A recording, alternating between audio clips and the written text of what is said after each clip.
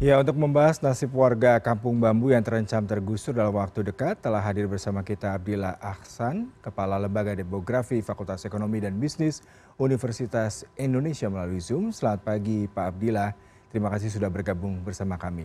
Pak Abdillah, kita tadi sudah uh, menyampaikan tayangan terkait dengan polemik warga Kampung Bambu ya di kawasan Tanjung Priuk, Jakarta Utara, di mana di sana mereka akan tergusur dalam artian mereka akan direlokasi nantinya karena memang dalam waktu dekat kawasan tersebut akan diperuntukkan dalam pembangunan dan tata lokasi yang diperuntukkan untuk JIS dan kawasan sekitarnya.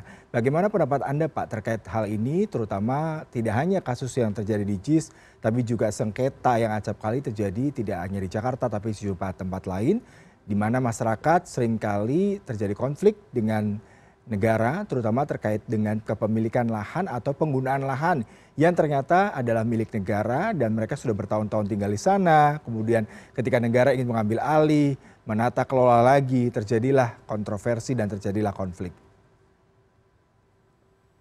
Terima kasih Mas Yuda atas pertanyaannya. Jadi eh, kita kembali kepada konsep development, pembangunan yang berkelanjutan ada namanya SDG School. SDG School nomor 11 adalah Sustainable uh, City and Communities. Jadi dalam perencanaan pembangunan kita harus mempertimbangkan keberlanjutan ya. Jadi pembangunan itu harus benar secara ekonomi, harus benar secara lingkungan dan harus benar secara sosial. Dalam konteks kampung bambu ini uh, seharusnya perencanaan pembangunan melibatkan masyarakat sekitar, dan memperhatikan eh, implikasinya kepada masyarakat sekitar. Dan pemerintah tidak bisa mengedepankan aspek legalitas ya, tanpa mempertimbangkan aspek kemanusiaan.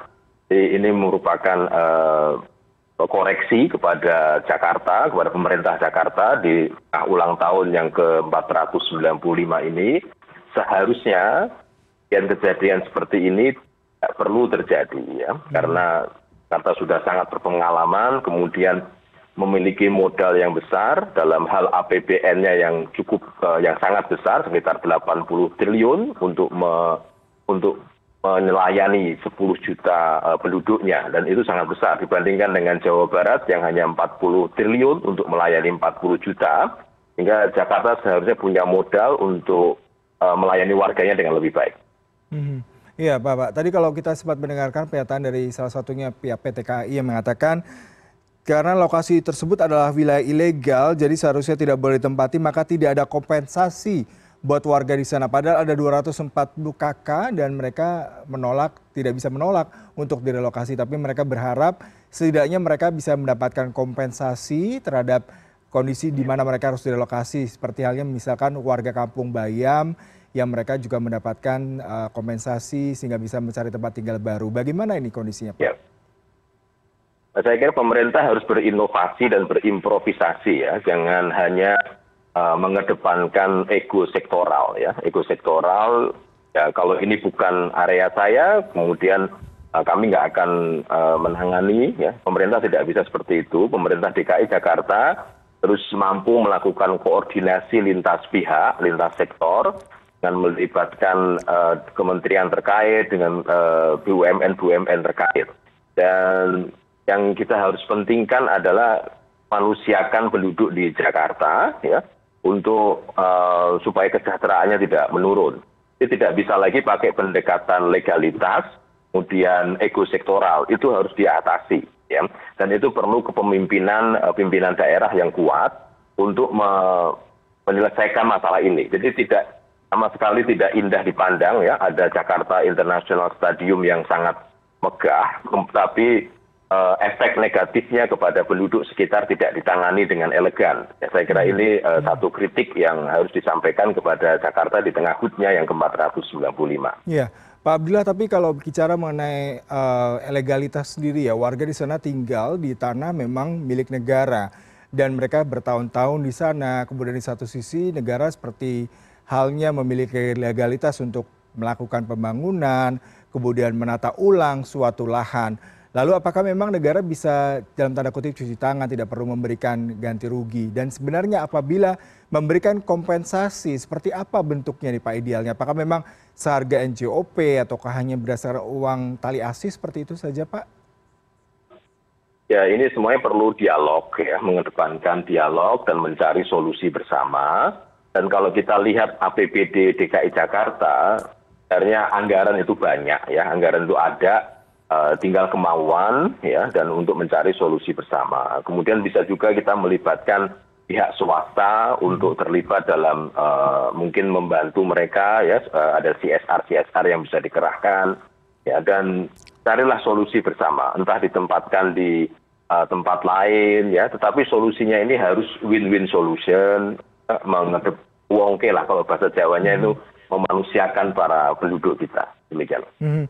Peresmian JIS ini dijadwalkan pada bulan Juli yang kurang lebih tidak lebih dari satu bulan lagi Pak. Jadi jadwalnya pada Juli 2022 kawasan tersebut harus sudah diterapkan dan penertiban akan dilakukan. Bagaimana Anda melihat langkah penertiban sementara di satu sisi mungkin belum ada eh, relokasi dan biasanya dengan penertiban yang mendadak seperti ini pastinya ada yang menjadi korban Pak. Ya ini saya melihat ini uh, kesalahan perencanaan ya dalam proses bangunan uh, fasilitas besar ini seharusnya uh, penertiban atau penyelesaian uh, ekses-ekses yang timbul itu sudah dijalankan sejak awal ya tidak boleh mendekati mendekati deadline ya ada persoalan seperti ini. Ini seharusnya bisa diantisipasi ya seharusnya bisa diantisipasi dan ke depannya di proyek-proyek yang lain, di proyek-proyek pembangunan yang lain, pemerintah harus lebih uh, mengantisipasi hal, hal seperti ini. Kita hmm. lihat ada beberapa proyek di mana terjadi konflik antara uh, penduduk dengan uh, apa proyek tersebut. Jadi ini harus diantisipasi supaya tidak terulang kembali. Hmm. Kalau pemerintah daerah ataupun pemprov DKI selalu mengatakan mereka akan direlokasi, kemudian pembangunan rusunawa atau mereka akan dibangunkan shelter sementara. Tapi di satu sisi mereka juga pastinya berpikir untuk mencari tempat mereka bisa mencari nafkah, Pak. Karena kadang-kadang di antara mereka pastinya mengais rezeki tidak jauh dari tempat tersebut. Itu yang acap kali tidak dipikirkan oleh pemerintah daerah terkait dengan masalah relokasi. Lalu bagaimana Anda memandang hal ini sehingga nanti ke depannya tidak hanya warga dipindahkan tetapi juga dipikirkan bagaimana ke depannya sustainability ekonomi mereka sehingga mereka bisa tetap hidup dan mereka tetap bisa bekerja. Jadi dalam hal pembangunan proyek pembangunan seperti ini kita tidak boleh hanya fokus kepada aspek uh, teknisnya saja bahwa bangunannya uh, ada megah dan sebagainya. Ini juga aspek manusia yang ada di sekitarnya ya sehingga ini perlu dilakukan dialog sejak awal proses ya kemudian bisa melibatkan uh, lintas sektor dan ngo ngo lsm lsm yang bergerak dalam pemberdayaan masyarakat.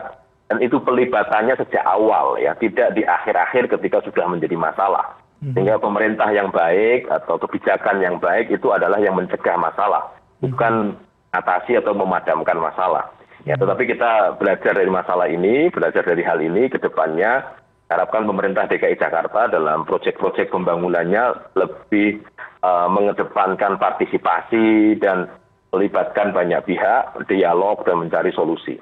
Hmm, berarti anda katakan ini termasuk terlambat ya pak untuk melibatkan segenap uh, aspek terkait bagaimana memberdayakan masyarakat sekitar uh, kawasan JIS sendiri terkait bagaimana memberdayakan mereka, kemudian memberikan kesempatan kerja, tidak hanya sekedar pembangunan infrastruktur, relokasi seperti itu pak ya lebih baik terlambat daripada tidak sama sekali ya hmm. saya kira uh, target deadline Juli itu tidak terlalu kaku ya hmm. bahwa Juli semuanya harus kosongkan kemudian ada apa namanya penggusuran pember, yang yang tidak manusiawi seperti itu itu tidak boleh terjadi ya hmm. sehingga kita mengharapkan uh, kebijakan dari pemerintah DKI untuk uh, mencari solusi yang lebih Eh, manusiawi dan mencegah eh, masalah masalah yang lebih besar lagi ke depannya. Hmm.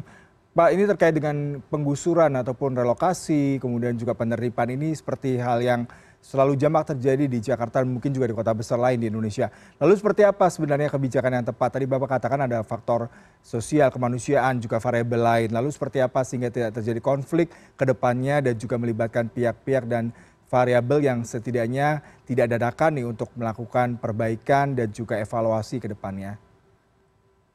Ya perencanaan proyeknya harus lebih baik ya, kemudian harus melibatkan banyak sektor dan harus mengantisipasi persoalan persoalan yang akan terjadi ya.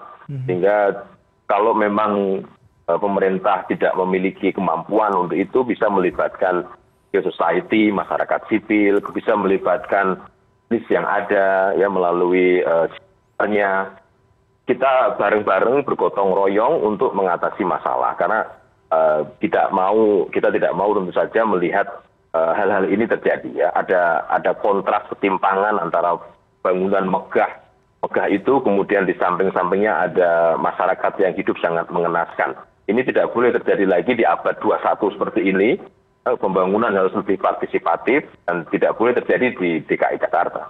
Hmm, baik, terima kasih Pak Abdillah Hasan untuk perbincangan pagi hari ini. Semoga Pemprov DKI Jakarta dan juga pemerintah daerah lainnya mempertimbangkan banyak aspek sebelum melakukan relokasi dan penertiban sehingga masyarakat tidak menjadi korban tapi juga masyarakat juga paham bagaimana mereka menempati suatu tempat sehingga mereka juga tidak merasa nantinya dirugikan dan menjadi timbul kontroversi.